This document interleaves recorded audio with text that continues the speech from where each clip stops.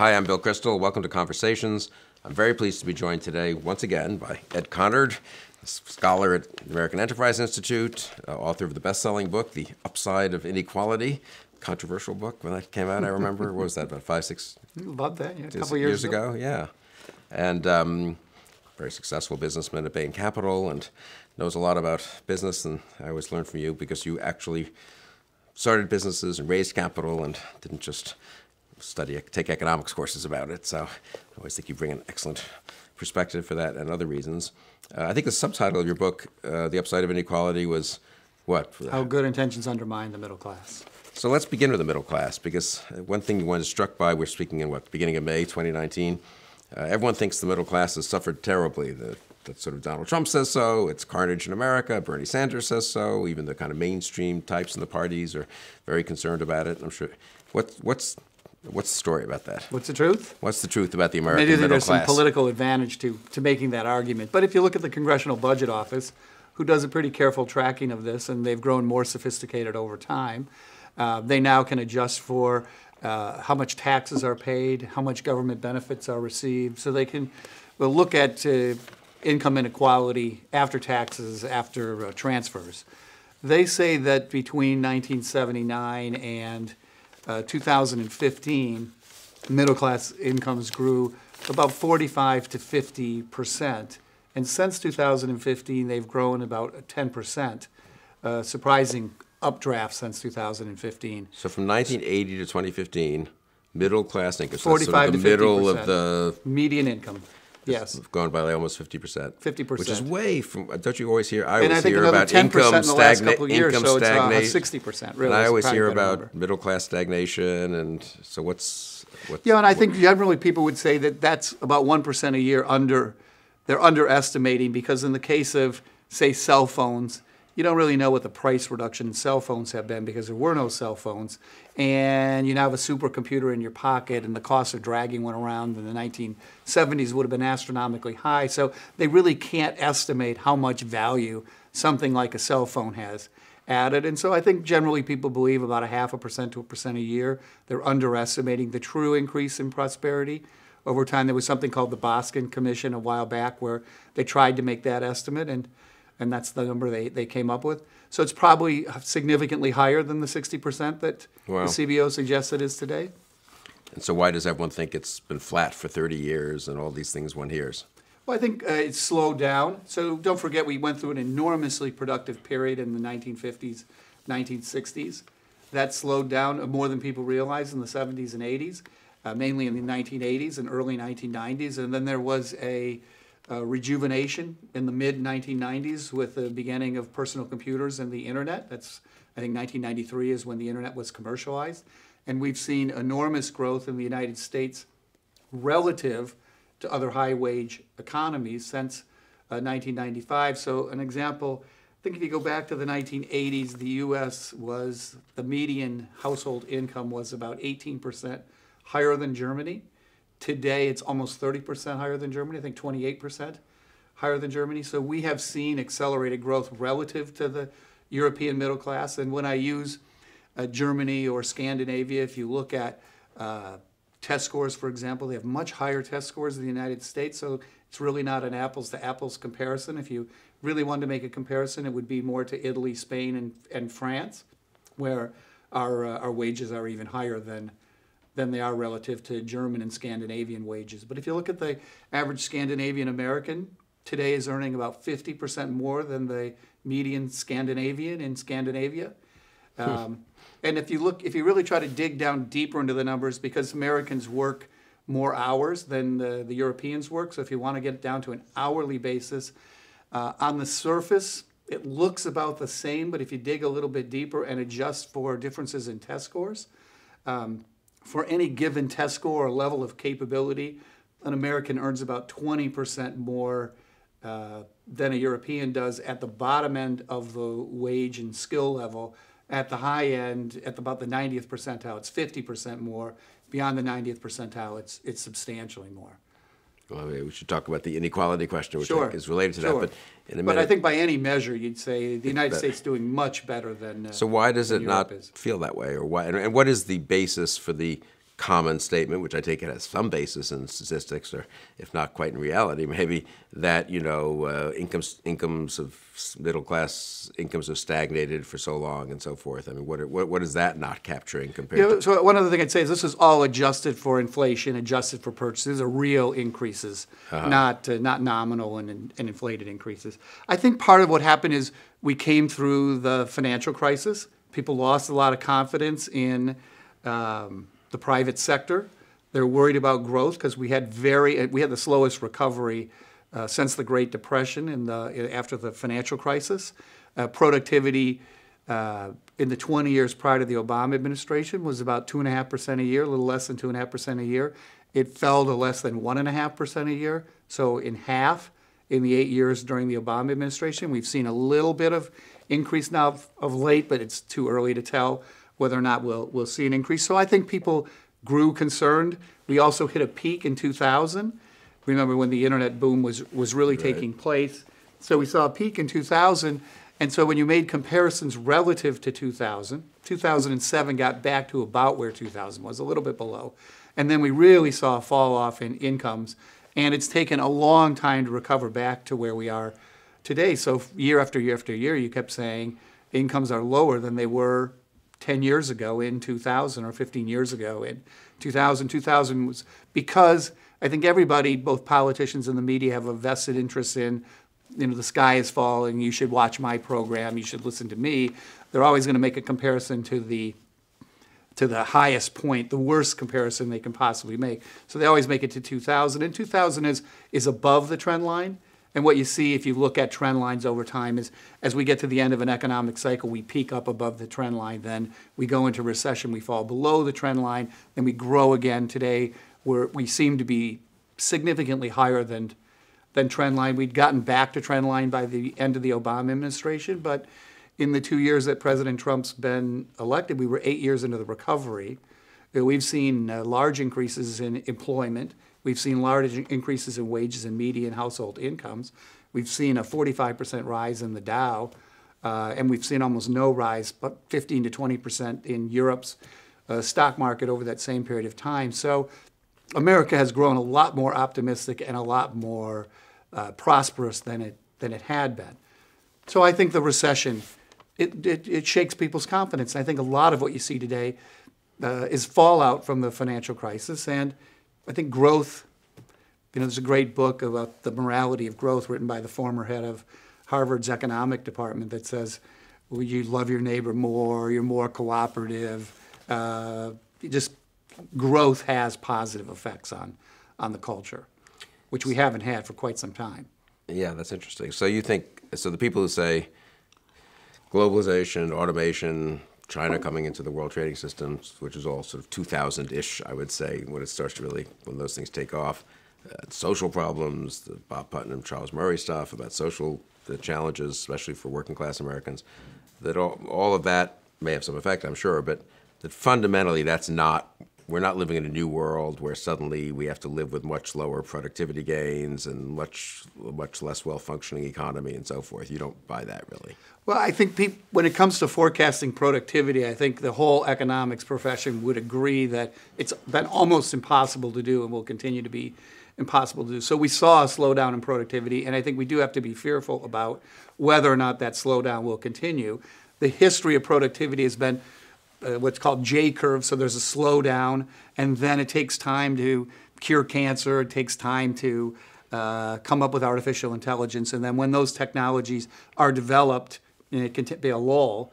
Then we see a lot of add-on uh, innovation, which accelerates productivity, and then we have to invent the next big thing, uh, whatever that is. We don't know what it is, and there's a lull. So we, we might be in a period of lull. People, I do think, worry that maybe this lull could last a long time. We did see uh, enormous productivity coming out of the Second World War. Um, so you mean you went through the Great Depression, you went through the Second World War, you had two two decades of pent up innovation, commercialization of innovation. And so when that all came through in the 1950s and 1960s, electricity, automobiles, television, uh, mass market uh, uh, products, um, you know, like hair, hair shampoo, things like that, you saw an enormous increase in productivity in those decades that I think most people think is unusually high and can never be duplicated. So I think there's concern about that, but but uh, I think there's reasons to be optimistic, optimistic as well. I would say this though: I think that one thing that two things that have changed. Well, I think one, the slower growth in the financial crisis makes everybody less confident about the future, no matter what the future prospects are. But I also think there's been big, demo, big shifts in our economy from where we were in the 1950s and 60s to where we were today. So back then we were transitioning out of agriculture. It was a very painful uh, transition. Remember, people went through the Great Depression during that time. Then you really had all the talented people in America focused on creating mass market products produced by mass market workers in big U.S. factories. There was no very little trade, very little uh, low skilled immigration. And so the, the talent of America was focused on increasing the productivity of, of, of working and middle class Americans. I think since that time, uh, there's been a lot of uh, low cost offshore labor. So a lot of manufacturing moved offshore. That put enormous pressure on U.S. manufacturing to increase productivity. The productivity grew faster than the demand for manufactured goods. So we've seen the, the manufacturing employment drop. The shift into services, it's much harder to grow productivity in services. They're spread out, they're harder to manage. You know, in a factory, you can, you can get engineers to figure out how to make the product and invest the capital. And so we've seen historically much faster productivity growth in manufacturing but the productivity and growth of manufacturing is not so valuable to employees anymore because there's not very many employees in uh, manufacturing. And then in the case of talent, we had all these technologies, personal computers, all the knowledge on internet and, and enterprise software and, and uh, emails that allow much more communication. Those really increase the productivity of our most talented people. And we saw a migration out of collective enterprises, big businesses, to management consulting, Wall Street, to startups, where they'd say, my, my capability can be more individually measured. And so they, in some ways, left what they were doing before, engineering products and jobs for the middle class, and moved on to engineering products and services for other capable people. And I think the middle class feels that. There has been a slowdown in middle class growth. If you look at the most productive companies, Apple, all of its blue collar employment is outsourced. You know, you still have engineers at Ford, but they're designing jobs for Mexican workers more than they are American workers. And so a lot of the talent migrated to the coast. And so now you're left in Detroit saying, where's the talented guy who's creating a higher paying job for me? And I think that's going to lead to, on top of the financial crisis, in addition to it, it leads to concern, loss of confidence about what the future might look like for me and my children. There's other trends too. I, I could go on and on on this, by mm-hmm. the way, but you know, we, we, we saturated the population with education. We saw an enormous increase in productivity. Now we're testing everybody from kindergarten on. It's, there's not a lot left for us to, to squeeze the lemon out of education. Maybe we can re engineer it, but for the last 30 years, it didn't produce the kind of gains that we got when we educated an uneducated population and found a lot of people who grew a lot more productive when they got when they got educated and had been denied chances before because they were poor or they were yes. African Americans or they were yes. you know recent immigrants or something. But like I think that. the net gets better and better at, at picking those people up. We saw a right. huge migration to the city. Right. You know, I think that's a one-time increase in productivity off the farms into the cities that we're not we're not going to see again. I think we've seen other things. We've seen an erosion in, I'll call it respect for authority, but there's people are less religious. There's more divorce. Uh, there's less participation in the workforce. You see more opioid addiction. This is at the bottom end where people have a little more difficult time managing themselves. You don't see these issues at, at the most skilled levels, but that too is going to it's going to grind at productivity gains. And the Another thing I think you see as well is, is in services, a lot of low skilled services require subordination. You're a nurse subordinating yourself to the subordinating yourself to the to the patient, if you will, or a sales clerk or uh, or somebody like that. Women have turned out to be better at those jobs than men. Men were better at factory work and and taking risks and being strong enough to lift a box and things like that. So the whole economy has shifted in a direction that's more difficult, I think, for an unskilled man to to differentiate himself financially. I think that that they felt all those they felt all those effects as well, and you know I think that that has led to a certain uh, loss, less confidence in the future than probably is warranted given the historical track record, which has been which has been much better than people realize. Yeah, so on the one hand, you're saying we actually are better off, and including the people who, you know, seem to be are somewhat relatively disadvantaged, perhaps by all these trends, which you know, in the modern economy, they are still better off, but maybe they feel less better off, either because they're less confident about the future, or they see people above them doing even better, or the kinds of jobs they have, and so forth. What about the inequality issue? I mean, there there has been. Is it true that there's been an increase in just inequality, basically, and So we've seen two bursts increases in inequality. One's probably false, the other's certainly true. Um, in not, the mid 1980s, we saw an increase in inequality, largely centered around the Reagan uh, tax cut, which really moved, I think, a lot of income from corporations onto people's personal uh, tax returns because the rates were lower. And so there was an apparent increase in inequality at the time, which I think today most economists mm, are pretty skeptical that there was actually an increase. And there was a, uh, productivity was slowing down in the 80s before it revived in the 1990s. We then saw a pretty sharp increase from 1995 to 2000. That's really the commercialization of the internet. And two things happened. We saw a lot of growth in inequality, largely at the high end, the top 1%, and we can come back and talk about them. But we also saw some of the fastest growth in middle class incomes at that time. We saw between, according to the CBO, between 1994 and 2000, we saw like a 17% increase in, in median household incomes during that time after taxes, after uh, government transfers. So we saw both a rise in inequality and an increase in uh, um, um, middle class wages.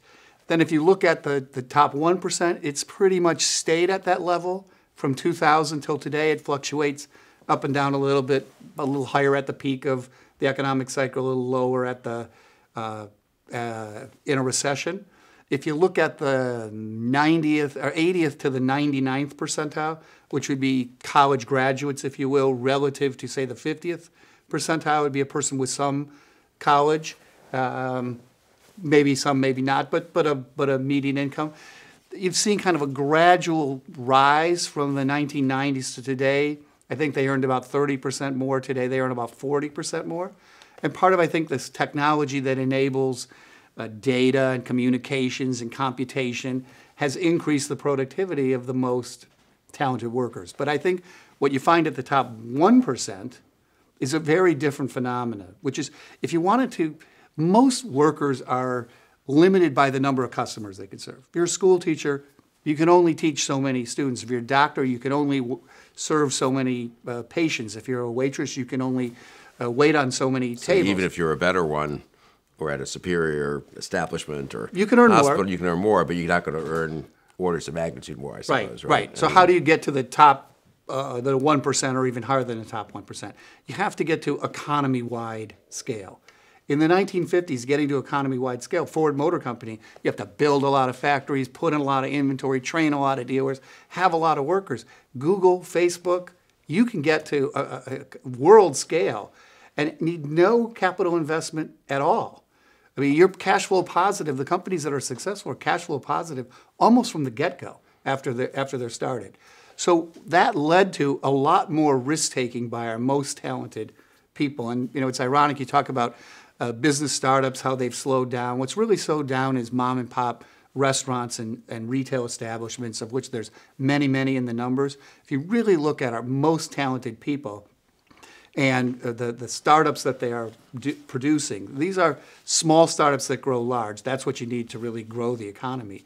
There's been was a sharp increase to 2000. That was a peak way off the line. It took a while to recover. We're past the 2000 peak today. So because of this phenomenon, this lottery-like phenomena, where uh, you have a chance to scale to economy-wide success and need very little capital and investment to do it. You largely need talent and good ideas. We've seen a lot more and luck, maybe. yeah, luck. You need a lot of luck too. But you've seen a lot more risk taking by talented people at the top of the skill level. That's produced institutions like Google and Facebook and Silicon Valley. That gives American workers exposure to cutting edge uh, ideas. And we know that when you get exposure to cutting edge ideas, the payoff for risk taking, and the payoff meaning the probability of success and the value of success, the two multiply together, that's what we call the expected value before you've taken the risk, is much, much higher in the United States than it is in Europe, where you know cutting edge company is working for BMW in the auto industry. You have a difficult time in the United States recruiting people into the auto industry because they're all out in Silicon Valley working on technological innovation, and they're willing to do it. By the way, they're willing to take a pay cut to do it because of the entrepreneurial prob- possibilities after they've gotten the exposure to cutting edge ideas. So what ends up happening here in the United States is a small amount of taxation on a really valuable opportunity doesn't discourage anybody from taking really valuable opportunities. At the margin, you're definitely discouraging because you're saying that could have paid twice as much, now it'll pay, you know, one times as much if you tax it at 50%. In Europe, if you don't have a good idea, you can tax it at zero. And no one's going to take the risk because they say, I haven't had the exposure to the cutting edge ideas. And so what you see is a positive feedback loop that has formed in the United States, taken hold. We haven't seen it in Europe. We don't see it in Japan. We're hoping we might see it in China, although we're scared of it in China, you know, using it to come after us. But we, the rest of the world's contributed almost nothing to innovation. And in the United States, what we've seen is exposure to cutting edge ideas ramps up the amount of risk people are willing to take. They take more risk. They gradually produce institutions like Silicon Valley and, and uh, Google, which, which increase the exposure to cutting edge ideas, which increases the risk taking. And, uh, and you step back and look at it, the most talented Americans are getting better trained. They're working longer hours. They're taking more entrepreneurial risks. They're producing, by some measures, uh, uh, startups valued at more than a billion dollars, five times as much innovation as their counterparts in Europe. And they're doing it with a 8% of Americans scoring at the highest levels on academic tests versus 14% of the Germans and 18% of the Scandinavians. Oh, and our incomes, our middle class incomes are 20% higher. Their incomes would be even lower if they weren't benefiting from the enormous outsized contribution of U.S. innovation They to in- Europe middle- and, and Japan. uh, Europeans, but Right. also middle class Americans. I guess. You're, What I'm saying is when we make the comparison middle class Americans to Europeans, Right. without America's i- contribution of even- innovation, be. Europeans would be even lower than they are. so you don't buy the argument at all that the decline in startups, which I guess is, or decline in new business formation, which I guess is true, um, in some quantitative way, and the decline of labor mobility and other such things is reflects like a decline of risk taking in America or something like that. No. That's a very partial. That's just as, as you say, fewer mom and pop coffee shops, but the the important risk taking from a macroeconomic point of view is happening as much as ever. You think? I think mean, if you look at uh, venture capital investment, if you look at uh, the number of high-tech startups, they, what are called high-quality startups, so not restaurants and such, um, all those measures, we're at higher levels today than we were at the peak in 2000. And 2000 is, is well off the trend line. I mean, it's extraordinarily. And if you look at the quality, people were starting the camera shops, going to online camera shops in 2000, all that stuff, you know, went bankrupt. Amazon, real serious competitors took over. The stuff that's being uh, created today is much more durable, much more interesting, much more sophisticated than what you saw in 2000. And you start factoring in like the amount of uh, R&D money that companies like Google and Facebook and Amazon and Microsoft and Intel. I mean, these guys have uh, close to trillion dollar valuations for a reason. This, what we're seeing today is is way more valuable. And I think the second thing you saw see is because that talent was sucked out and moved to more valuable ventures, what's been left in the world of mom and pop startups is less talented than what it used to be because these other opportunities weren't available. Then we swooped in with uh, because because you, you've got all these guys who are working on technologies. They say, "Yeah, but I got to have somebody to program my computer. I got to have somebody to do this, to do that." That you've seen uh, community colleges swoop into the, the middle and find the most talented guys that weren't going off to college and saying, "Well, you used to start, you used to you know, run your parents' Italian restaurant. Why don't you learn uh, computer programming or some sophisticated uh, how to program a, a machine or or something like that?" We've got we've pulled that group off. That was the group of sort of blue collar frontline supervisors. I think we've pulled them off and made them much more technical. And then what swooped in behind them are companies like Uber, Walmart, uh, McDonald's, who say we can have a better uh, uh, management model for lesser skilled workers that requires less talent to manage it more effectively because we don't have the talent, because the talent's been pulled off.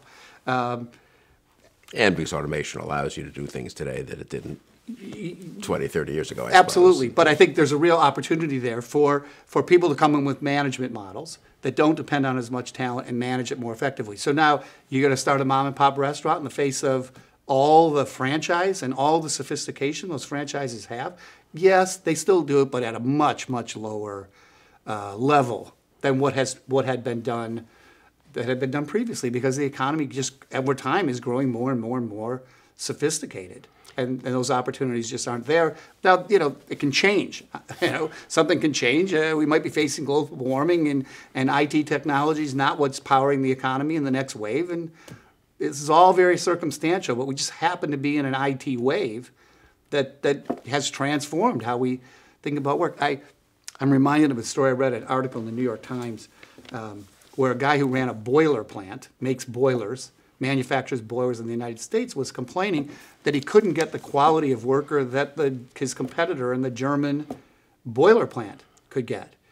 And he was saying, look at how great their employees are at blah, blah, blah. I can't compete with that. It's like, yeah, because anybody who was that capable wouldn't be working in your boiler plant in the United States. That's what job those guys are getting in Germany, working in a boiler plant.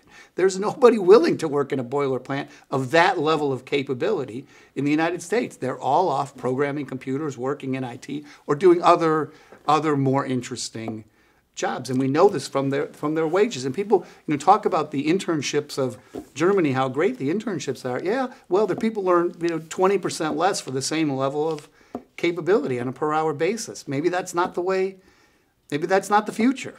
And why are they? I mean, so stipulating this is correct. I mean, why is the? I mean, Germany's full of, or Scandinavia or anywhere else, is full of intelligent, well-trained workers. Apparently, probably a better education systems than we have all in on in K-12, and not bad colleges and universities, and certainly good technical schools. They have engineers. What? Why is it so lopsided, by your account at least, in the U.S. in terms of innovation and risk taking? And these and especially the high tech companies. I mean, why isn't it more evenly distributed? I mean, automobile companies, there are good French automobile companies, at least there were. Now they're all globalized, but you know, Renault is a good company, and you know, BM. Uh, France hasn't created a new large company. but I'm saying Germany had. uh, if you looked around the world in the 70s or 80s, you would say there were great Japanese cars, there were great German cars, there were great French cars, there were great American cars. Probably actually less good American cars, but but it was like a global. You know, they were competitive, right? That is not the case with Apple, Google, and Amazon, right? There's Yes. nothing really, not much that's equivalent. So why isn't there? What is it in Europe that discourages what happens in the U.S.? The tax rates aren't that different for wealthy people, I don't think. I mean, Yeah, I think it's it's the tax rate multiplied by the value of the opportunity. So, as I said, I don't think you can get exposure to companies cutting edge technology like you can in the United States. So at any tax level, they simply don't get the payoff to motivate them to leave their high paying job as a lawyer, as a doctor, where they're going to make hundreds of thousands of dollars a year, retire with a couple million dollars. There aren't opportunities, even at zero tax rates, to make the kind of multiple of that that would motivate you to leave near certain success for near certain failure. Now, why did it happen in the United States? It might be happenstance. It might be uh, culture of could be culture. It might be uh, uh, cheaper to lay off workers, so we were faster to transition. It could be more open borders that put pressure on our manufacturing and caused, you know, productivity to grow faster. Um, high-end immigration, which produced a non-trivial percentage of the people who started some of these No- no Silicon doubt- no doubt Valley about that. companies. Right. But whatever the reason is, we know this higher payoffs have caused Americans to take a lot more entrepreneurial risk. And we also know that the tax rate multiplies directly against that payoff. So we can say, you know what, we're going to cut those payoffs in half.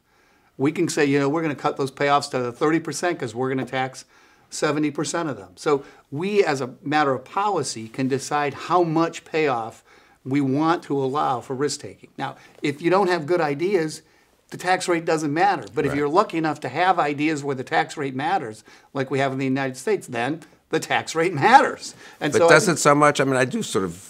I'm half convinced by the liberals, eh, moderate liberals, I should say, who say, "Oh, come on! I mean, is, uh, is someone not going to start Apple because it's a 50 percent tax rate on incomes above 10 million as opposed to 40 percent? Or I mean, are we really capital gains goes from, I don't know, you know, 20 to 26 or something like that? I mean, is that really going to change?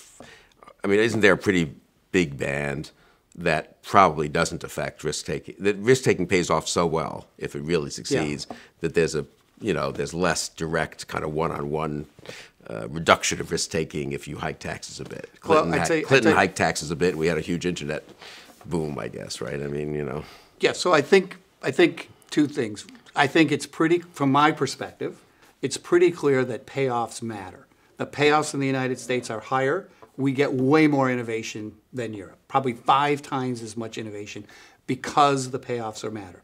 We know that the payoffs are higher in, in California, even though the tax rates might be a little bit higher, the payoffs are a lot higher, and people flock to California and they take a lot of risk in Silicon Valley. but doesn't that cut the other way? Because the tax rates in California are higher than the tax rates in Tennessee or something. Yeah, I just think that the payoffs Right. for risk taking are enormous, and then we slap a small tax on. And I'll come back to the tax. So, okay, tax, risk taking's reduced a little bit, but from an enormous number. And when you really look at the calculation, what you see is the payoffs are high enough to encourage people to take the risk there. You don't see it in Kansas. You don't see it in Germany. You see it, you know, in places where the payoffs are high. So, I would contend to you that whatever the reason is, for the higher payoffs. The higher payoffs are causing more risk taking. Now, economic policy just decides what payoff you're going to allow. So you can say, I'm going to cut all the payoffs in half. I'm going to cut them by 10%. I'm going to cut them by 20%. It's hard to believe that cutting them, you know, if you cut, it's a little scary, I think, to do this. Cut them a little, doesn't have much effect. Let's round to zero and say no effect. We'd say, well, what if we hit it with a 50% tax, which is kind of close to 35% is probably about what we're hitting it with you know, is that going to, at the margin, if you stack up all the ideas, you hope that you have the luxury of so many great ideas that even if you cut the payoffs by a third, it doesn't really cause uh, that much reduction. It's hard to believe, though. I think anybody in economics would say that they are stacking up both exponentially at the margin, and then there's a couple ideas that are so great, okay, but also they're power law distributed, and I think every venture capitalist knows, every investor knows, uh, that a small number of home runs at the highest end is what generates virtually all the returns. So even if you say, look at Bill Gates didn't expect to be a multi-billionaire, so what we're going to do is cut off the tail at the high end of the power law distributed curve, you're basically cutting off all the return that drives. If you look at uh, venture capital returns, they're, they're kind of mediocre. You know, Kauffman Institute does this. The returns have been mediocre in the United States relative to just investing in public markets. So, if So you, you need the high to- return, not so much for Bill Gates, but for all the investors at the beginning to make up for all the other startups they've invested in that But, don't, but more importantly, don't pan out. I'd say this: don't kid yourself that the lone genius is the real driver of productivity. We tend to look at the Bill Gateses of the world and the Sergey Brins because they created, you know, billions and billions of dollars. They created lots of hundred millionaires along the way. Right. That's part of the reason their idea was so valuable that they created an army of risk takers who are willing to go out, quit near certain success for near certain failure to try to make their their ideas work. And what we've seen in the after and, and we know this, we know that Europe and Japan have way more engineers and scientists per capita than the United States does. They are very short on MBAs. So it, you know, it seems to be a blend of the two that matters, and that it's not some lone genius scientist. It is an army of money grubbing business people who are trying to make that that idea successful. And in the aftermath of Bill Gates and and and Steve Jobs, what we have seen is a gigantic army of risk takers form in their wake. So we could say, you know what, we'll just cut Bill Gates and, and all these guys down to $10 million. Would we have seen the army that we saw? Well, we know this Europe didn't see the army, Japan's never seen the army.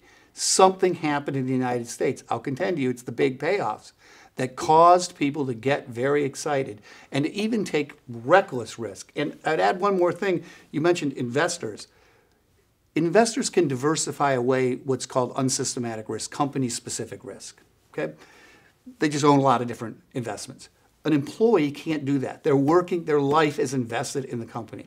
What you want is talented people to take an enormous amount of risk, to quit, to not become a lawyer, to not become a doctor, to not become an engineer, to go off to business school and then go or wherever, probably a Or combination skip of the business two. school, right? And go, that's right. And, but, but I'm talking about leave, walk away from near Right. certain success. Right. And do something very entrepreneurial, tr- presumably to make 10 times more than they could have made, because it's probably less than a 10% chance they're actually going to succeed. It's probably more like a 1 or 2% chance that they're going to succeed. So if you want that to work, those guys are, are even more than investors, depending on the, the, the power law distributed end of the payoff. Because even investors who are diversifying company specific risk away don't get good returns without the home runs. The employees who are facing companies, the entrepreneurs, the talented employees who are facing entrepreneur company specific risk are facing way more risk than the investors are. You'd have to think that they need even higher returns in order to motivate them. And for whatever reason, we do not see any motivation across all of Europe. We don't see it across all of Japan. We're beginning to see it in, in China. Uh, but the United States is alone, is unique in this.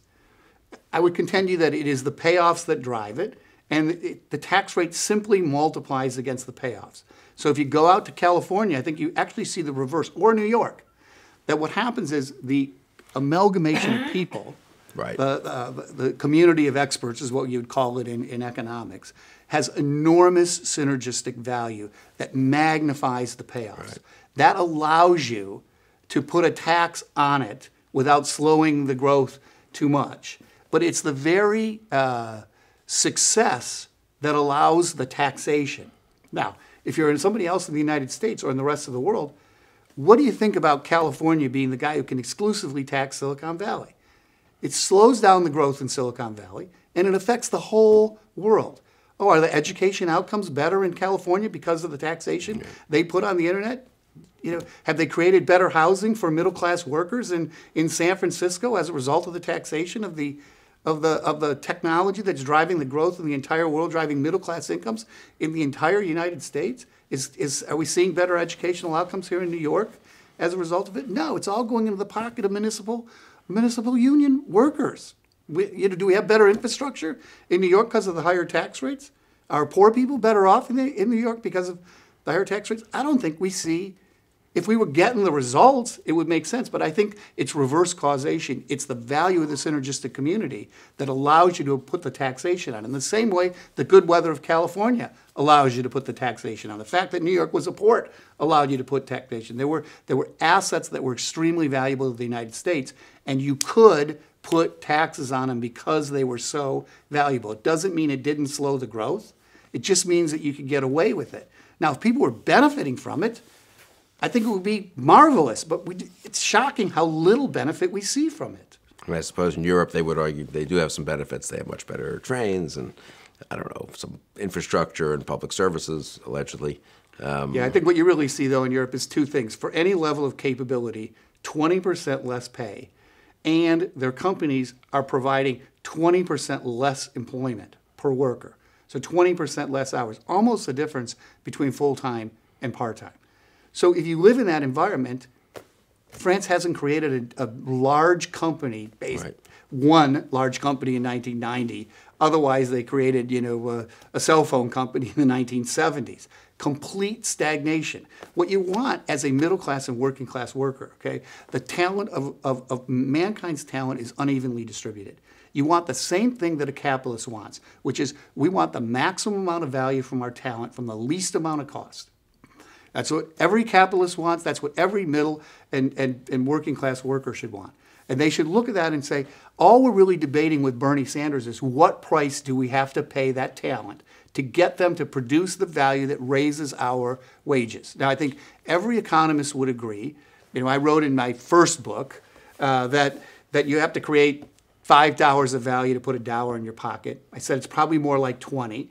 But I'm going to say five because I don't think any liberal economist will disagree with five. And then in my calculations, I use three and a half. They The book ended up on the cover of the New York Times Sunday magazine because Mitt Romney, my partner, was running for president, and they said this book depends on 20 times that an investor has to create 20 times the value, $20 of value to put a dollar in their pocket. They went and got Dean Baker, leading liberal economist, to dispute the 20, and he said, no, I certainly would agree with five. They made the very point in the book, even though, uh, even though in the article they were misrepresenting what the, what the book said. So if you have to create five dollars of value for other people to put a dollar in your pocket, what we're trying to do is get the most talented people to go get the training, work the hours, take the entrepreneurial risk that puts money into our into our pockets. We're just debating what price is required to do it. And we would say, well, the free market's a pretty good measure of what that price should be. It thinks the price needs to be very, very high. Okay, Bernie Sanders, Elizabeth Warren says no, we could slap it with a 70% tax and it won't affect middle class wages, it won't affect the growth rate. And oh, we say, well, there's not a lot of data in the world, but let's go see where we have data. Let's check Germany, for example, where the payoffs are lower. What And- we find is, is, is a very different outcome. I don't know how you look at that outcome and don't get very scared because once you go down this path, you have to be very worried. You can never really recover from this path. It's not like you go, oh, well, let's just slap it with a path? seventy From the percent. path of slowing the growth. So you slap it with a seventy percent tax. Right. You end up twenty years later, we look a lot like Europe.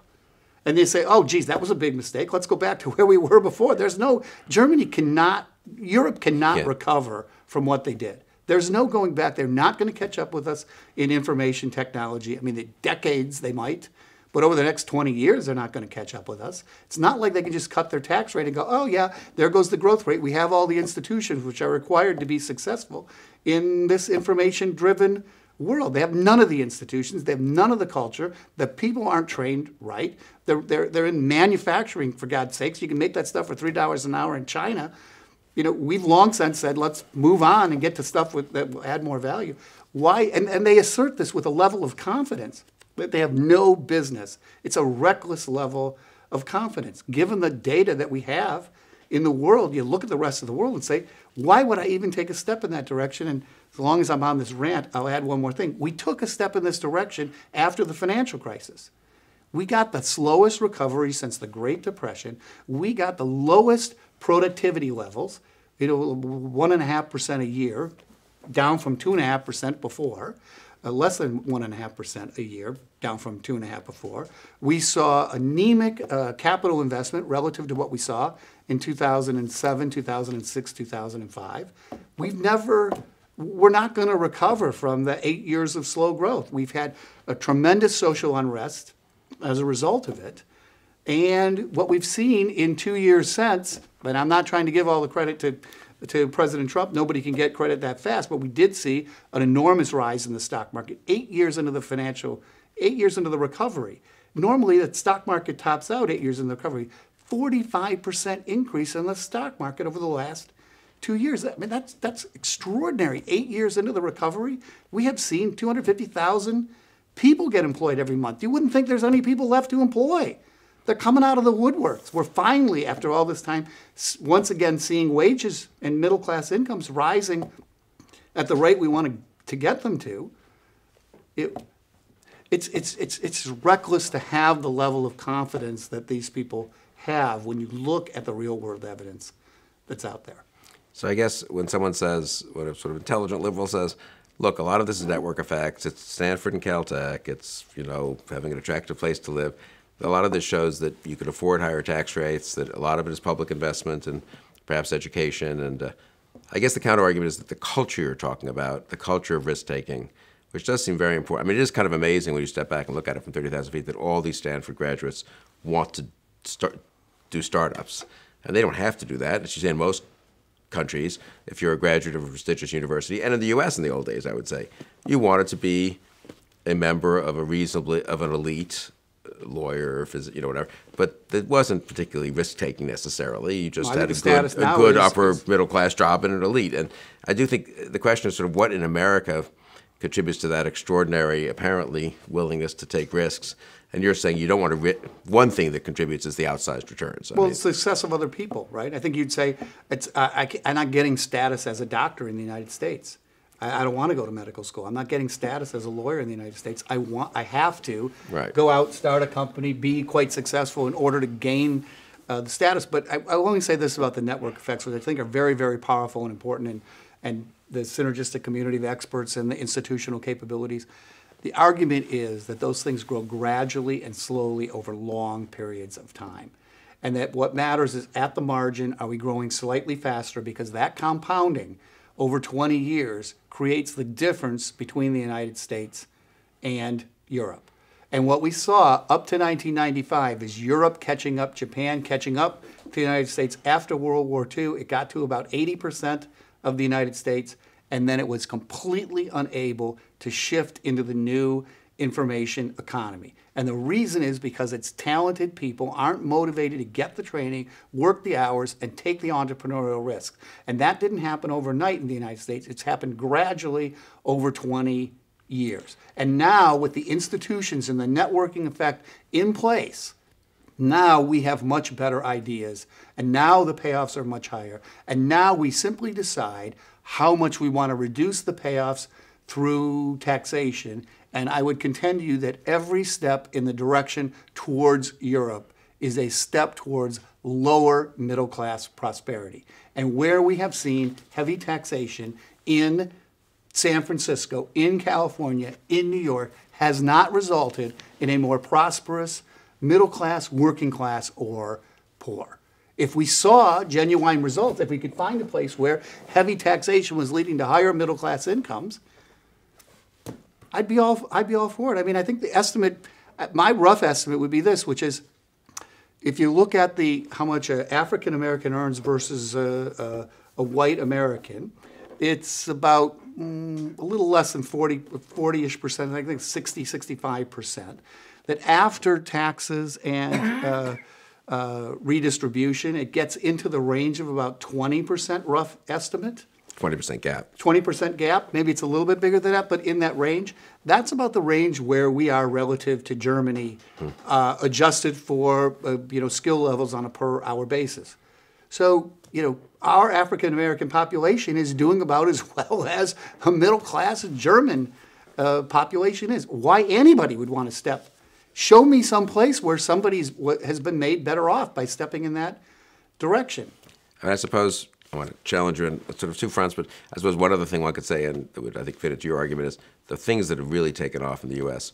were among the less regulated parts of the economy, partly because they were so new. So the, and they yes. also were sort of, you know, up in the air as opposed to digging into the ground. So there wasn't pollution, and there wasn't thought to be pollution, and there wasn't thought to be all the obvious things that were slapped onto old industries in the 60s and 70s, especially um, which also would make a case for Yeah, no taxation because you're basically expensing all the, your investment, which is talent, as opposed to say capital where you get to depreciate it over 20 years. So Right. really much lower tax rates. I mean, it's funny that everyone in Silicon Valley is like cheerfully liberal and wants all these things, but of course they don't want it about their their own companies. They forgot.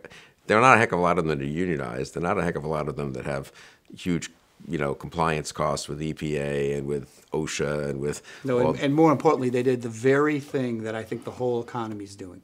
They said, we don't want to be in the business of supervising blue collar workers, and they outsourced all of it. Not only, you know, outsourced all the manufacturing of, of, of iPhones to, to China, uh, but you look at who's cleaning the floors and who's serving them in the cafeteria. Back in the day of Ford Motor Company, those would have all been Ford Motor Company employees in a collective enterprise.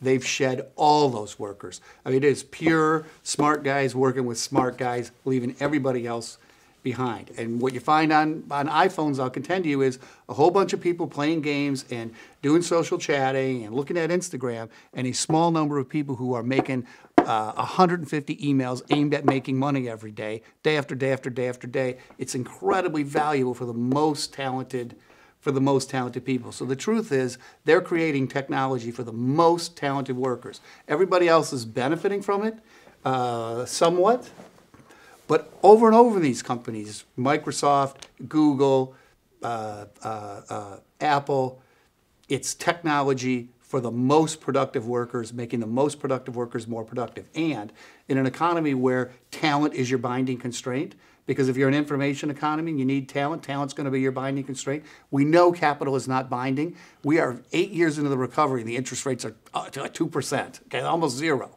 Because capital is not the binding constraint in today's economy. It's talent and getting the talent to take the risks that are required to grow the economy. And that taking the risk part, we got, there's three, we don't even have a shortage of talent. We have a whole bunch of people that want to study art history because they're rich enough to get away with it. And you say, how about studying accounting?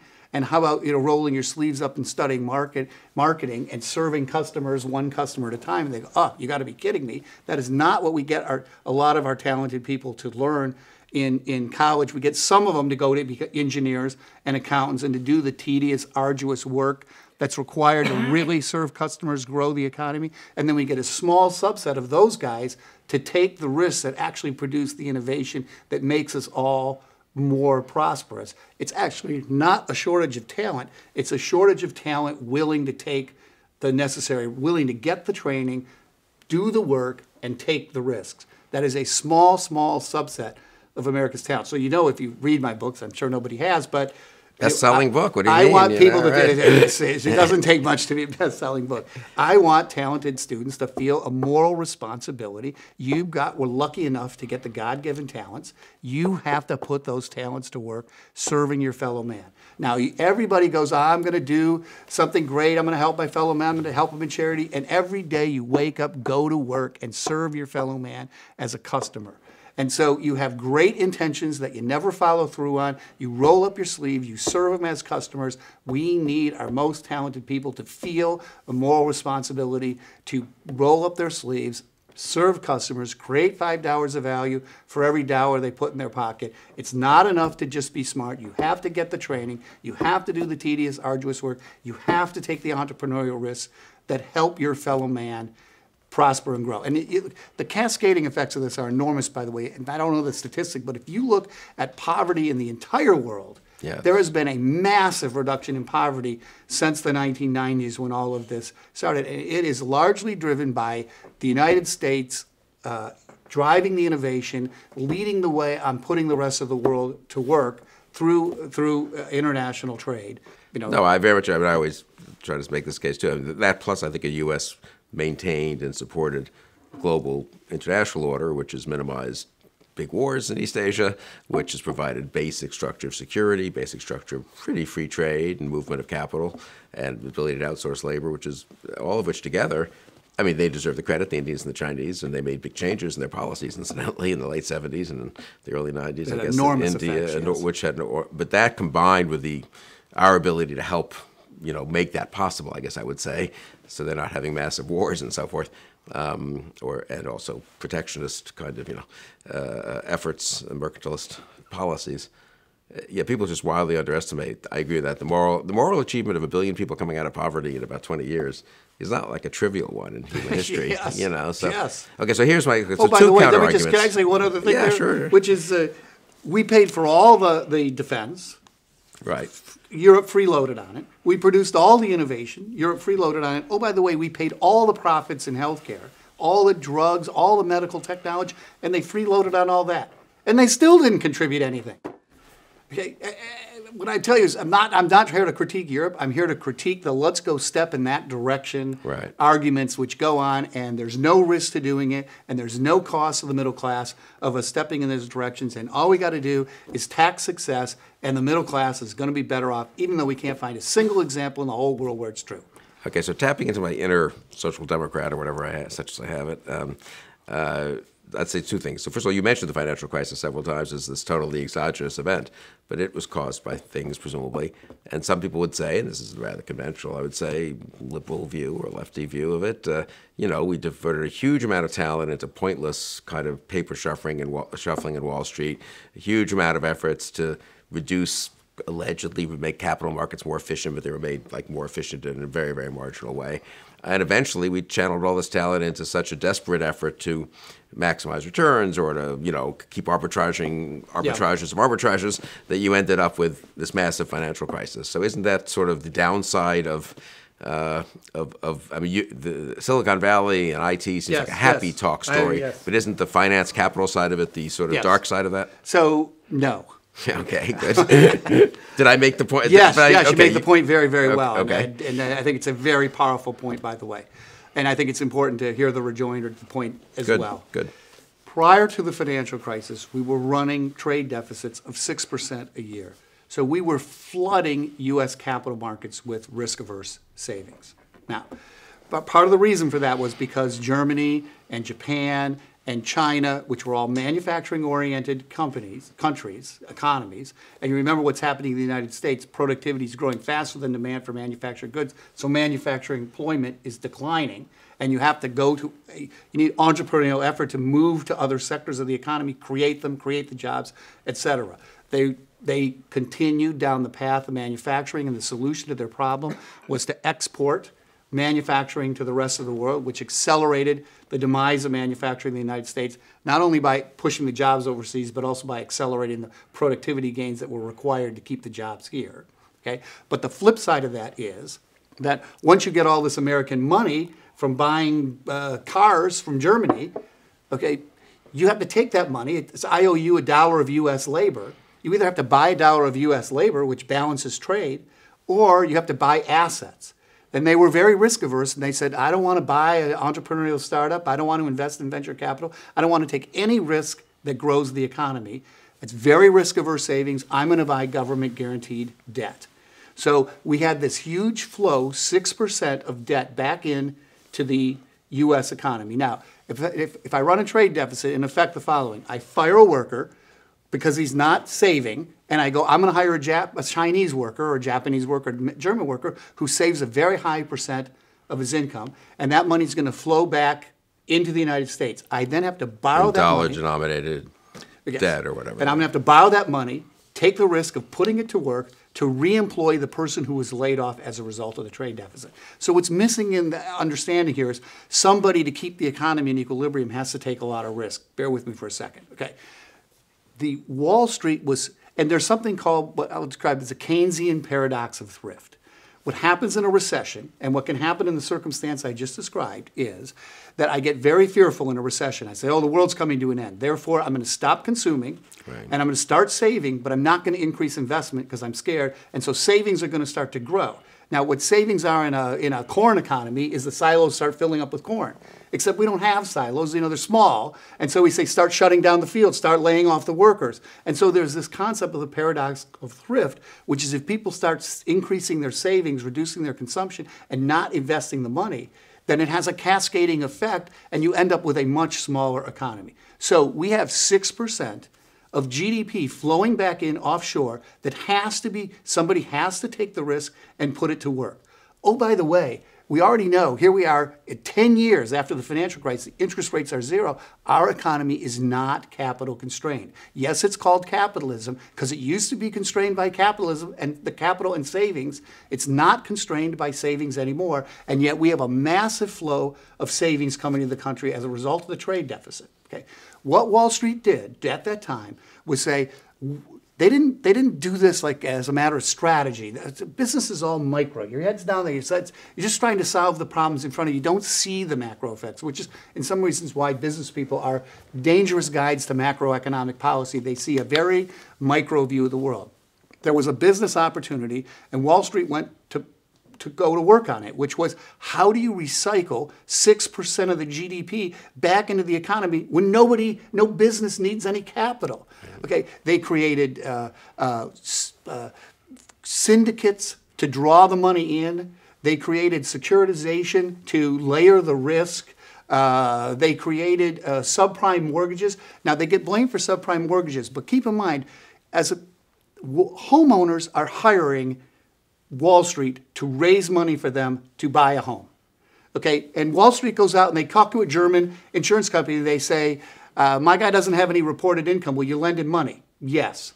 Okay, as a homeowner, Wall Street is doing the job they're supposed to do. They go, uh, "How about they put no money down?" And the guy says, "Yeah, I'll do that too."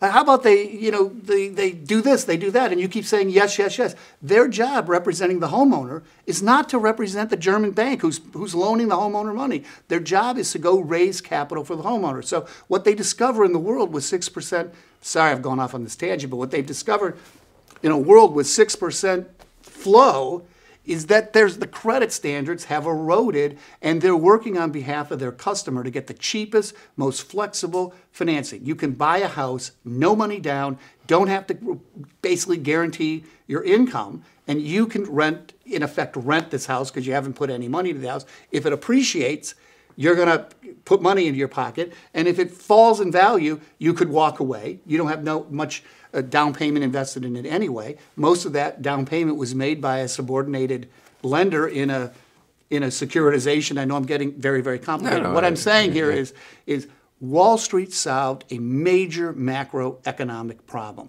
How do you recycle all this money into an economy that doesn't need capital? And what it found was that if you uh, go to a homeowner who hasn't gotten much of a pay raise in 20 years and say, I don't know if you noticed, but you have a huge amount of embedded equity in your house, and you can borrow that, pull that money out and spend it. And oh, by the way, if the house drops in value, that would have come out of your hide because you're the last dollar, but now your equity's out of the house, so that's going to come out of the bank's pocket. They created a very valuable deal for homeowners. And they solved a major macroeconomic problem for the United States. And they got paid a ton of money to solve it because it might have been our biggest macroeconomic problem in 2005, 6, and 7. Now, what you want banks to do is to, is to think about credit risk. Can that homeowner pay back that loan? What you don't want banks thinking about is is there going to be a liquidity crisis? Because if they go, look, here's the problem you have in banks. You see it in the, what's that, that movie, uh, A Wonderful Life. There's no money in the banks. What you want the banks to do is empty the corn out of the silos and loan it back to the farmers to get them to either eat it or plant it. So when everybody runs with their IOU, you owe me a bushel of corn, and they want it withdrawn from the silo, there is no money in the corn to pay anybody the withdrawal. So the, the banks can go bankrupt for liquidity problems, not for bad loans. Right. So what we did in the financial crisis, huge mistake. I'm sorry, we can edit this all out. and No, no, it's good. else, It's is- good. Well, it was a liquidity crisis, not a solvency crisis, Right, right? and we don't want banks in the macro business of worrying about liquidity because if they are, they won't make loans. The way you solve a liquidity crisis is fill the corn, the silo up with corn. The very thing that Which you we did eventually. we, what we do now, and then we we faced eight years of slow growth as we you know had Right. enormous reserves put into our banking system. But my point being, Wall Street solved the major macroeconomic problem. They got paid a lot of money for it. We faced a liquidity crisis. We know banks are highly unstable uh, equilibriums because if you run to the bank, you will not be able to get your money out, and they will. Goldman Sachs was shorting the mortgage market, and they're still going to go bankrupt from a liquidity crisis. So they're making money from the short, but they're still going to run out of cash to pay to pay the withdrawals. You want them. There's a very cheap solution to this, and we've known it for 100 years. Federal Reserve steps in and says, "Oh, you want your money? Turn on the printing press. Here's your dollar. You take your dollar, and what are you going to do with it? Stick it back in the bank. The bank takes it, they go, "Thank you very much." Throw it in the incinerator. So better policy in 07, early 08 Brilliant. could have averted it. It could did have averted the price. did Well, it did eventually. I mean, after a pretty nasty. there's fall. going there's going to be nasty falls in this in this the, when you get to this unstable equilibrium. Fed pretty much did what they did. What we ended up doing stupidly is we said, you know what, uh, we're going to uh, villainize the Fed, we're going to villainize bank bailouts, we're going to villainize Wall Street, and we're going to make it highly, highly, highly ineffective for the government to be able to, to crack to solve in a low cost way the next liquidity crisis. And part of the reason for that is because we tried to solve it in the middle of the crisis. What we should have said is, you know what? We're in the middle of a crisis. So let's just print, give the guys the money. We're not going to let everything go bankrupt. We're not going to let GM go bankrupt. We're not, it's crazy stuff that in one week of liquidity crisis, we're going to let everything go bankrupt for 50 years. Makes no sense, okay? We just turn on the printing press, boom. Now, what we're going to do is we're going to look and see, did you have loan losses? Because if you did, we're going to charge you every dollar for those loan losses because what we want to hold you accountable for is that when you make a loan, that loan had better be paid back. You are responsible for credit default risk. You are not responsible for liquidity risk. Right. So we're gonna we're gonna watch you, Lehman Brothers, and sure enough, Lehman Brothers probably would have gone bankrupt. J.P. Morgan. The loan losses on, I, I've tried to look and it's very hard to find this data. The loan losses on AAA, the real loan losses, are like 3 4%. Yeah. I mean, if we had 20% reduction in real estate prices, you'd say the rating agencies in Wall Street actually did their jobs in that, in that situation. I know I'm taking a very unpopular position, Right. but we don't have this problem anymore. I mean, trade deficits are now growing again, but they got quite low.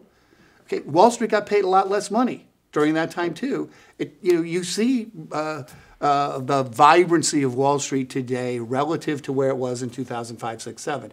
Do I think that we diverted Much a- less today, you think? much less. Yeah, yeah. And do I think we diverted a whole bunch of talent away from more productive efforts solving the problem we created by allowing the trade deficit to get to six percent? And by I'm saying allowing in my first book and in my second book, I say the following, which is the world suffers from a huge surplus of savings. The world solves that by dumping their risk averse savings on the United States. And our workers pay the price of it.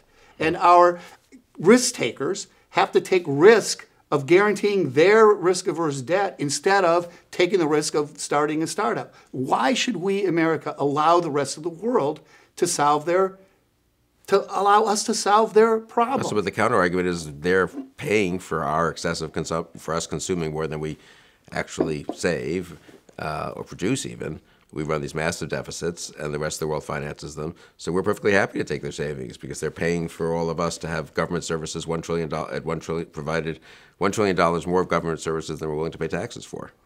I think there's two ways to think about that. Okay, so I think the one way is the way you described, and I think the truth probably lies somewhere in between. So on one side, you'd say all we did was borrow a bunch of production from China and consume it. Right. Okay, That's, that's, that's, and voila, party time for us. right. The other way to think about it is because I ran a big government deficit, I needed savings. So I fired an American and I hired a Chinese because that guy will save a lot more money, a lot more of his income than an American will. Now I've got the Chinese savings. And when I spend the money here in the United States by giving somebody a tax reduction or transferring money, then that worker gets reemployed.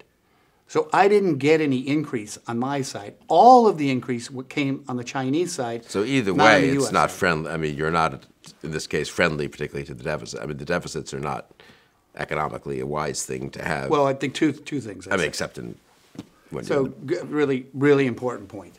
If we borrow money and throw a big party, consume it, spend it, okay, then future generations are going to have to pay for the party that we had today. Right. We get the prosperity today; they get the bill tomorrow.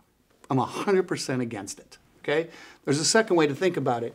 Second, I won't say think about it, but a different type of borrowing. I borrow money, I buy a factory. The factory produces more income than the interest payment on the debt. And, I bet, and when we pay back the debt, we're wealthier and we and it's a good investment. But let's say I never pay back the debt. Let's just say that I, I Keeps rolling over. Yeah, keep rolling over, and I keep reinvesting in the factory. And when you look at all the calculations, I'm producing more income than the interest on the debt Yeah, that so I that's a plus, sure. My children and future generations are made better off Right. by the additional interest, not poor by the debt. If you look at the Republican tax cut that was passed, which includes a couple components. Not only one, a business tax cut, which, which the Congressional Budget Office and all economists think will accelerate growth and accelerate GDP beyond what it would have because it will increase investment gradually over a long period of time.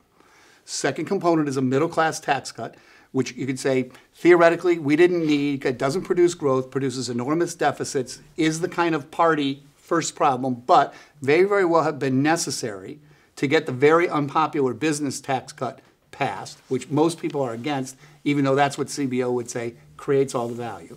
And then 10 years, and then there's, well, we, we reduced the healthcare mandate, which, which on a, saves more money than it costs. Okay, so that adds a little bit of, of, of money to this calculation. And then you roll the camera forward 10 years in the CBO forecast. And this is a forecast that assumed that nominal GDP would grow about $250 billion a year more as a result of the tax cut than, uh, than it was going to.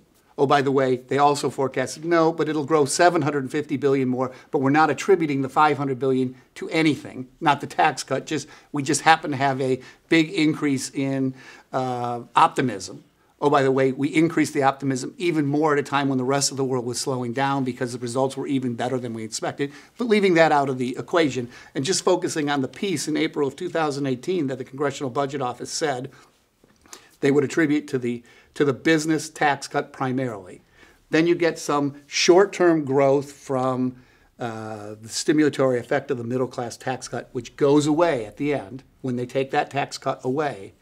If you look out in the ninth, eighth, ninth, tenth years, they're producing more tax revenues than interest expense, which means they bought a factory And they're now in a position where they're generating more tax revenues than they're generating in interest expense. That tax cut makes people better off. Now, we could have gone, you know, we didn't need the middle class tax cut. We should have just cut business taxes. We would have had no deficit and we just would have gotten the increase in tax revenues and the increase in growth rate and the increase in middle class. And because if you look at where the tax cut, there's been distribution analysis spread pretty well across the tax brackets. Obviously, richer people get more because they earn more, but but but spread fairly evenly across the tax brackets. You get out to those eighth, ninth, tenth years, and the Congressional Budget Office says we're going to generate more tax revenues than we would have without this tax bill. Right. And oh, by the way, that you know the the 40% increase in the stock market and the reduction in regulations on business and the general sort of emphasis on business over redistribution for whatever unidentified reason is going to give us another 500 billion in nominal GDP on top of the 250 billion we're attributing to the, the tax increase. Okay, I think that's a very different increase in debt than borrowing money and uh, redistributing it and consuming it and getting prosperity today at the expense of future generations.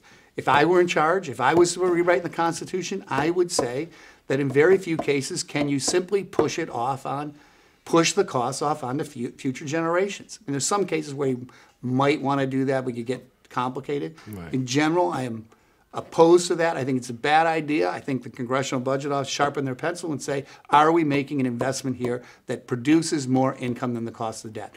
And when I say more than the cost of debt, by the way, they predicted what the debt would be 10 years from now. And they said that increase in interest, I mean, they predicted the interest rate and they predicted an increase in the inflation rate. So you got an increase in the interest rate, not only for inflation, but because there was more money being borrowed. And they said that delta multiplies by all the debt that's out there, not just the additional debt. They did the calculation the way you should do the calculation and still said it produces more tax revenue than the additional interest expense. You know, nobody hears that story. I get killed by, by uh, conservatives who insist that the, the first kind of debt is exactly to the second kind of debt, and that I don't know how to read the Congressional Budget Office report. I have to get them out and go into the exhibits. You know, it's, it's, I've done it so many times. It's, it's, it's Exhibit B, Table 3 of the April 2018 uh, CBO budget, 10-year budget. Go look it up and see, and go look at years 8, 9, and 10 and tell me if the cash flow statement doesn't show you that the revenues, tax revenues are greater, and tax revenues and cost reductions are greater than the interest expense. Okay, so you're less alarmed. so you're, I mean, net net, it sounds like you're a little less alarmed about the rise of the deficit and, and the rise of debt. I than hate the some idea- of the conservatives. Well, wait, we, went- we went from, but prior to the financial crisis, we were at about 33% debt to GDP. Right. You know, at the end of the Obama administration, we were at 75% debt to GDP. We did not get a rise in earning, additional earning capacity to cover the additional interest expense. So that was- That money basically got, you know, consumed. Right. It did not lead to increased investment. We saw anemic investment. We saw anemic productivity growth. We saw the slowest recovery since the Great Depression. We did not see an increase in middle class prosperity. We did not see an increase in working class prosperity. We did get more generous at the lowest end of the income scale. And we took off a lot of the work requirements for uh, food stamps and some of the some of those uh, uh, programs. So there was an increase at the lowest ed- end of the wage scale. I would contend that a lot of that comes out of the middle class because all of that comes, it reduces risk taking at the margin, which slows growth, which slows middle class uh, wage increases, which that money land, it does land in the pocket of the people in the bottom twenty percent. And the bottom twenty percent, you know, is largely people that don't work, many who can't work. Um, You know, I think there's, conservatives would tell you they all don't work because they don't want to. A lot of them, a lot of them have young children. It's, it's hard for them to work. A lot of them uh, have disabilities and Right. can't work. They drug addicts, mental illness, all kinds of stuff down there. Yeah. Okay, what about equity and, and, and also social mobility? So are we just going to accept the pretty drastic increase of inequality? Not so much between, as you say, the 90th percentile and the 50th or 30th, but between the top 1%. and everyone else, A and B, how worried are you about the social mobility issue? That it's one thing it seems to be for these people, if we're, you know, everyone has a chance to become Bill Gates, Yeah. and you know, and it's great, and this is America, and fine. So some people become wildly wealthy, but everyone's got to you know, almost have, well, at least enough. There's enough distribution of the people who have a chance that one feels that you're not hurt by being born into a certain class. And are you worried? uh, But there has been some decrease in social mobility, right? Well, I think if you look, so my book looks at this very carefully, the, the upside of inequality. Um, I, I use uh, all the studies that are out there, liberal and conservative. There's a lot of, lot of, this is a very political issue, so there's a lot of politicking in the, in what you think is the academic analysis. My conclusion from looking at it, and I tell you this, I'm, I want to be in the business of not spewing propaganda, even though I have a point of view, and any, anybody listening can hear it loud and clear.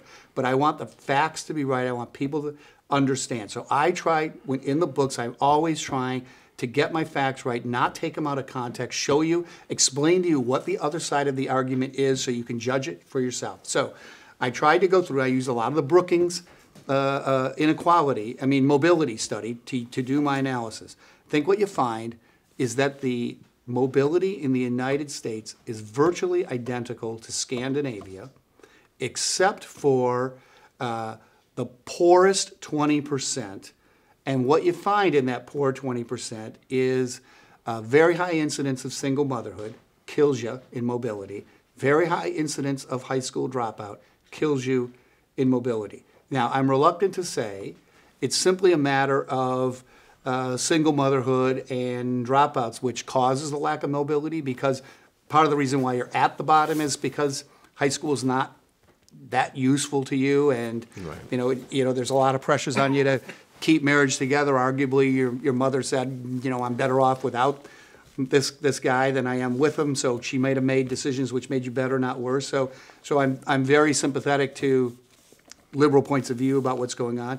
But aside from that group the mobility in the United States is basically the same. Hmm. If you look at the distributions of income, because there's another argument related to this hollowing out of the middle class, what you find is that the distributions of income are virtually identical, except for a little blip way out here at the top 1%, or the more you want to slice it, 0.1%, 0.01%. There's more and more of a blip way out there because as I said, you can scale to economy-wide success without needing very little capital, and we're seeing more success out there at the tail. But it's very, very small in terms of the number of people. The distributions are virtually identical, except they're shifting upward. In the book, I look at uh, white, so I'm looking at white full-time employees, because I think you're not going to be middle class if you don't have a full-time job. It's a different issue. But I look at uh, white, not Hispanic, Hispanic, uh, African American, and all three combined. Every single one of them has increased. Hispanics the least because you know, keep getting flooded with supply. Uh, I think I forget the difference between white Americans and African Americans, but but fairly close. African Americans are affected, I think, by low-skilled Hispanic immigration that increases the supply and and pulls pulls the wages down. Virtually identical distributions. And when you read studies like there's a Pew study that says middle class is hollowing out, it's gone from 61% to 50%. Right. The way they do that is they go, I'm going to bracket it with dollar bookends.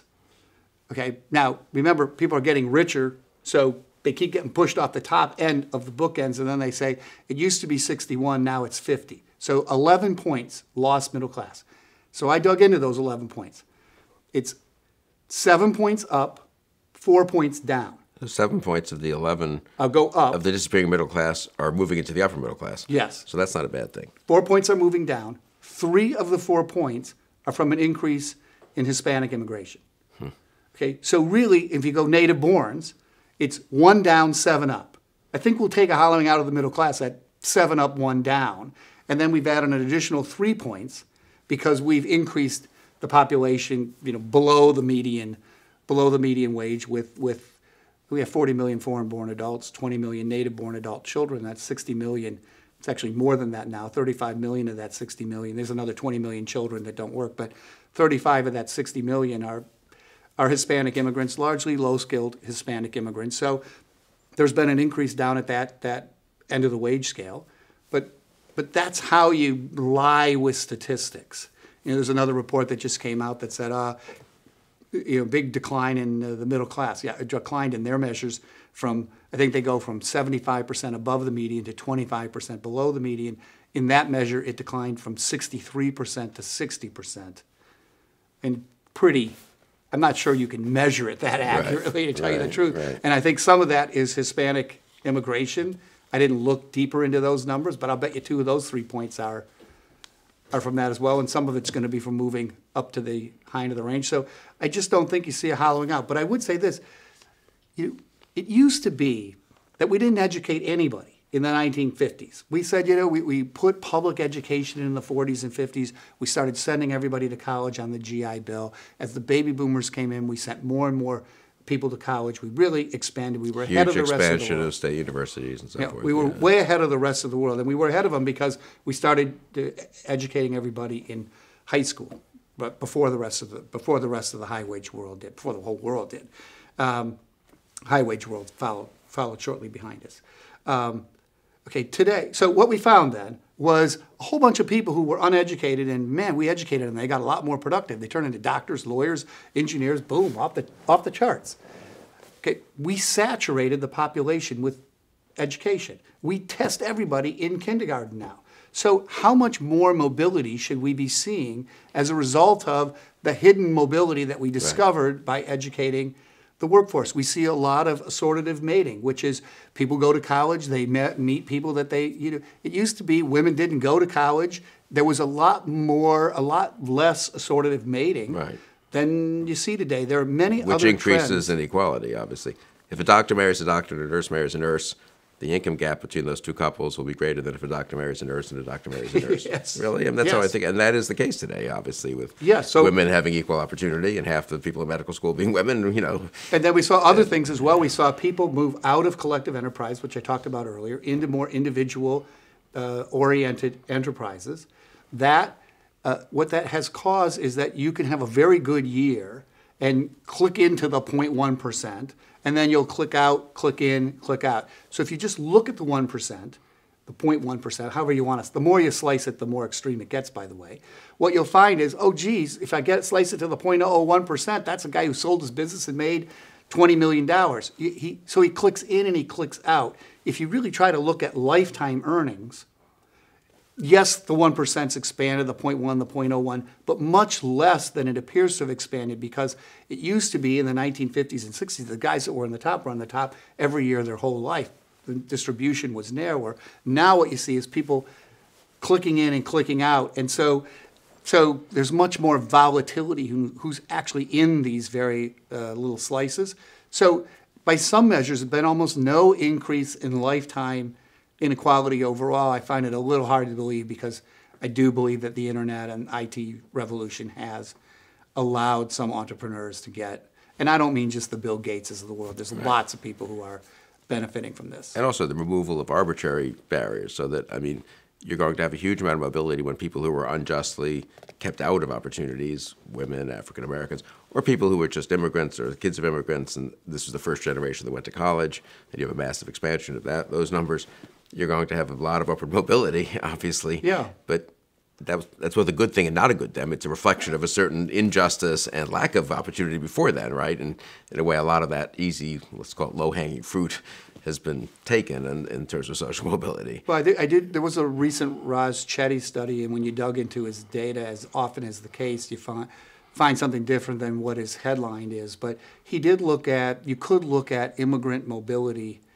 and I think what you you know, when I looked at it, Asian, white, African, Hispanic, basically the kids ended up being, uh, even though they started off very very poor they ended up where the native born averages of those demographics were in one generation. Wow. So, So that's good. Yeah. I mean, yeah. Yeah, if people are coming to the U.S. in the 70s and 80s and their kids are ending up in the same place as the people who've been here three generations, Right. that would be a sign that the system is not As resistant to mobility, I suppose. Yeah. I mean, I think capitalism is such you can't be. You're, I think there's a huge shortage of talent. You're looking for talent anywhere you can find it, and I think what you find is the GEs of the world who go, "Hey, we need uh, programmers to program machine tools, and things have gotten a lot more sophisticated. They're in the community colleges trying to recruit every remaining person that they can train and bring into the workforce, I think what you find is there's a large shortage of talent in the United States, and people are working hard to fill the gap. So I don't know that you have a lot of people walking around saying, you know, I just don't like women. I think we'll just exclude them 100% from our workforce. I think you've got an opportunity to get smart, ta- talented women. You're going to take advantage of that. You're not going to sit around and go, sorry, I don't do that. And that's why you argued, I guess we discussed this in the previous conversation, which people should also go watch or listen to, uh, that the, the case for sort of especially skilled immigration is so strong in terms of possible contribution to. Well, yes, I- We're short of talent. I mean, we, we issue a million green cards a year. I, I do this calculation. I think I did it the last time, but I'll do it again because I Yeah, do do it. think you know, we can cut the tax rate, do this, do that. It's gonna have small changes at the margin and gradual over long periods of time. We can try to jawbone talented people into taking more responsibility. They're gonna- it's gonna go in one ear, out the other. We can try to improve our education system, which we've tried to do for fifty years and have not done, have not seen much results you know, we face two extraordinary challenges. The first is baby boomers retiring. We've already seen the debt go from 33 to 75, 80% of GDP. It's on its way to 150% if we don't have growth crushing tax increases to pay for the retiring baby boomers and the rising uh, medical costs that have gone along with this unless we find ways to control medical expenditures largely by denying care like Europe does. But, but um, we face a big problem. And after we've been eaten alive by the baby boomers, which I'm one, sorry, uh, retiring, you know, then we have to worry about if China is as successful as it could be, we could face a major military threat at that time and we'll be at our weakest point.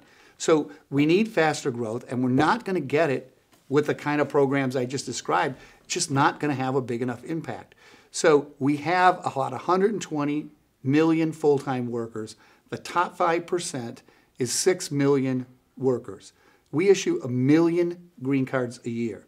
In six years or 12 years, we could double the number of top 5% workers, which potentially could double our growth rate. Now, I don't know if one plus one is two or one plus one is one and a half, right. but you know, doubling the number of top 5% workers in, a, in an economy where uh, we have a shortage of talent.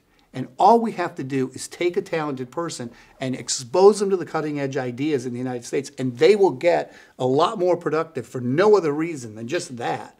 It's not like Google and Facebook and Intel and Microsoft and Apple said, oh, geez, we can't get the people. I guess we won't grow. No, they're Skyping all those people in from Romania and Eastern Europe and India and all over the world. So what's happening is those people are creating jobs for teachers, uh, for doctors, for uh, truck drivers, for waitresses, and all those jobs are in Romania because Apple says, why in the world would I want to move that person to San Francisco and have to pay them enough money to cover their San Francisco rent when I can pay Romanian rent, which is one tenth of what San Francisco rent is, but the middle class is losing all the jobs that end up in Romania, but Apple is not losing the employee because they're just Skyping the employee in on the phone and, and building, every company's got skyscrapers full of talented people in other countries because they're not going to sit on their hands and say, "Oh, sorry, you wouldn't let me in.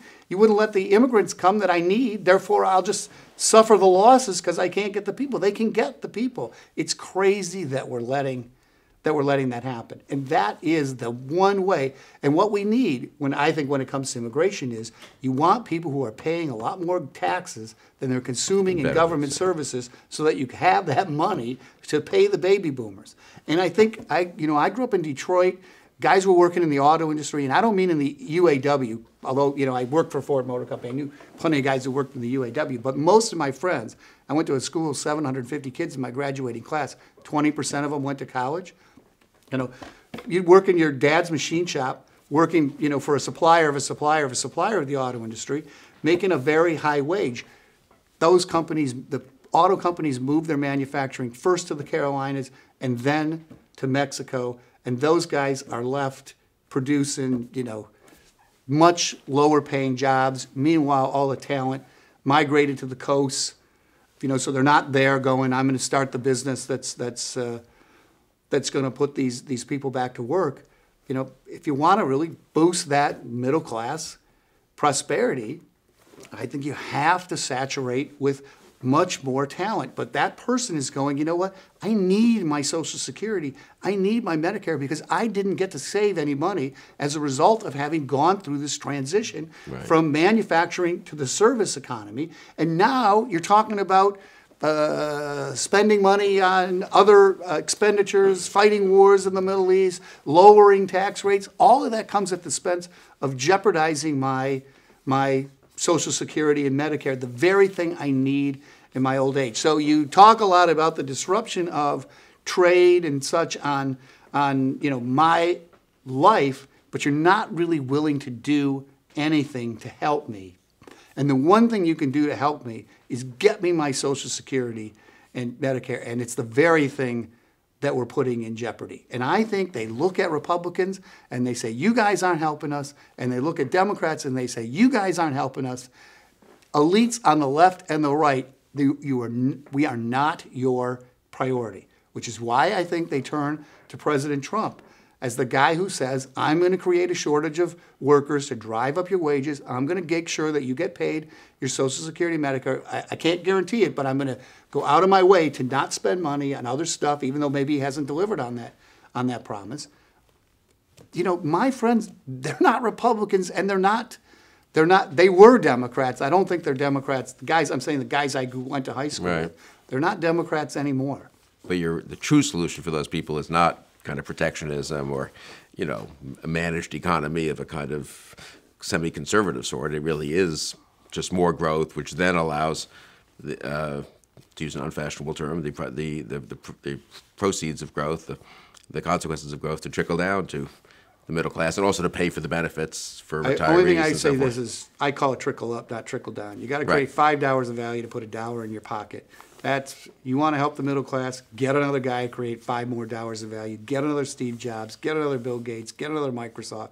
You're going to create a lot of value for other people. It's trickle up. It's not trickle down. We learn trickle down. They they propagandized this in the third grade.